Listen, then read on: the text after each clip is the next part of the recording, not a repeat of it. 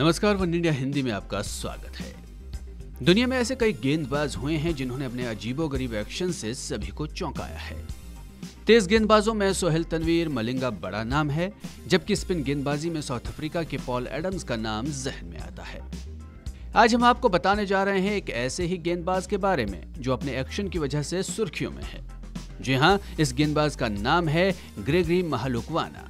इन दिनों south Africa में IPL की तर्ज पर आधारित Mzansi Super League T tournament चल रहा है। केपटाउन ब्लिट्स और डरबन हीट के बीच हुए मुकाबले में ग्रेगरी ने न सिर्फ़ अपने एक्शन से, बल्कि विकेट लेकर भी सबको चकित कर दिया।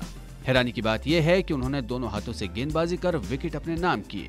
ग्रेगरी ने मैच में तीन ओवर गेंदबाजी की और 26 रन देकर दो विकेट हासिल किए। Gregory slow left arm spin और राइट आर्म स्पिन दोनों तरह की गेंदबाजी बड़े आराम से कर लेते हैं।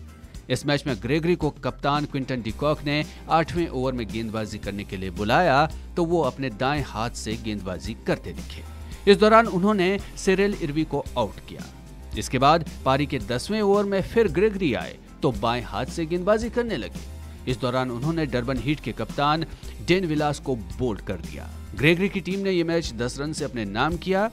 केपटाउन ब्लिट्स ने 6 विकेट खोकर एक सौ चौहत्तर रन बनाए थे। जवाब में डरबन हीट सिर्फ़ एक रन ही बना सकी। आपको बता दें, ग्रेगरी साउथ अफ्रीका के घरेलू क्रिकेटर ही हैं, जिन्होंने अभी तक 6 फ़र्स्ट क्लास 25 लिस्टे और 20 टी ट्वेंटी मैच ही खेले हैं। इस खबर में फ़िलहाल इतना ही। तमाम अपडेट्स के लिए आप बने रहिए वन इंडिया हिंदी के साथ।